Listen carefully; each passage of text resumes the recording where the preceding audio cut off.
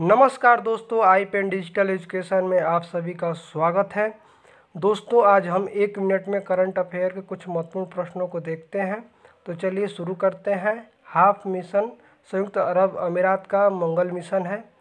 Barack परमाणु संयंत्र संयुक्त अरब अमीरात में स्थित है। जायद तलवार 2021 में संयुक्त अरब और अमीरात और भारत का नौसेना अभ्यास है। शाहीन बैलिस्टिक मिसाइल का सफल परीक्षण पाकिस्तान ने किया है। नहरों का देश पाकिस्तान को कहा जाता है। Pinaka multi barrel rocket launching system है।